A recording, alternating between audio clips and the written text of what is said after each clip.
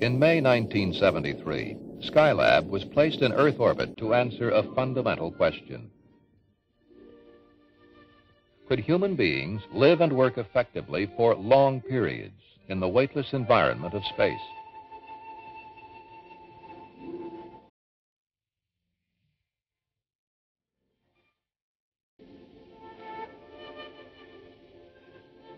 To test that question, three separate three-man crews occupied the space station for 28, 59, and 84 days.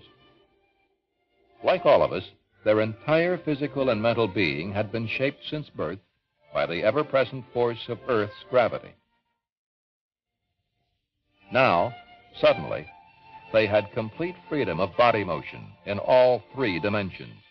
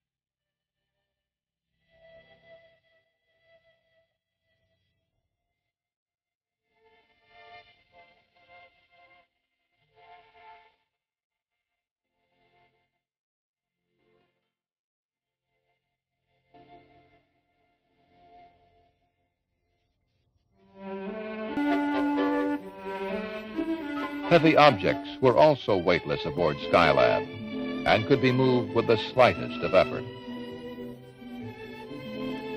It was the small bits and pieces that generally gave them problems.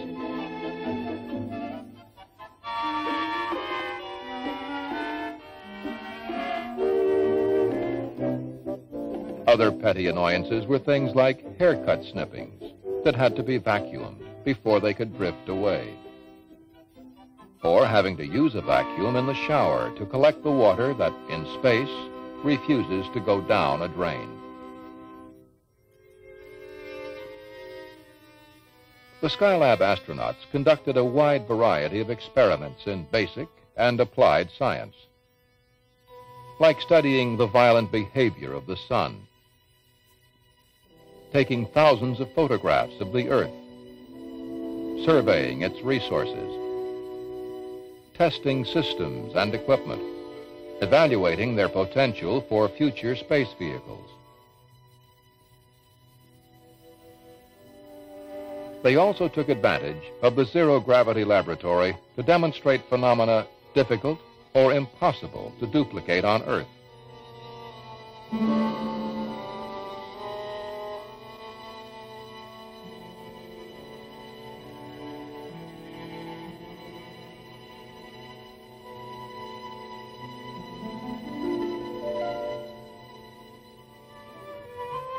Throughout the missions, crewmen kept a close check on themselves to see how their bodies were responding to long-term zero gravity. They exercised daily, stressing their bodily systems to the maximum to make sure the heart, the lungs, the muscles, all the bodily processes perform together the same way in the absence of gravity. They also exercised to stay in shape in weightlessness, with no gravity to work against, the muscles literally have it too easy, and without regular exercise, muscle tissue would soon deteriorate. A post-flight comparison showed that crewmen who had exercised most also readapted best when they returned to the gravity of Earth.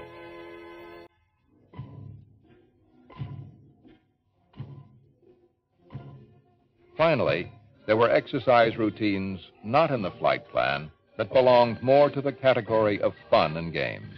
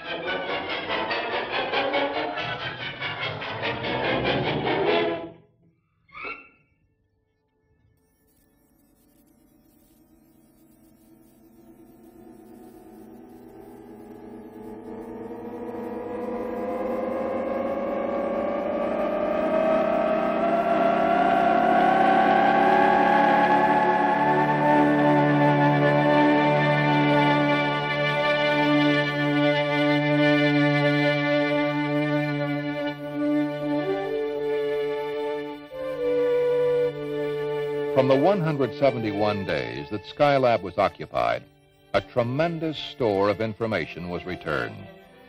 But of all the data, one finding stands alone. Human beings can live and work efficiently for long periods in the weightless environment of space. Such a finding was crucial to performing extended manned missions in the future, and therefore vital to our future role in space.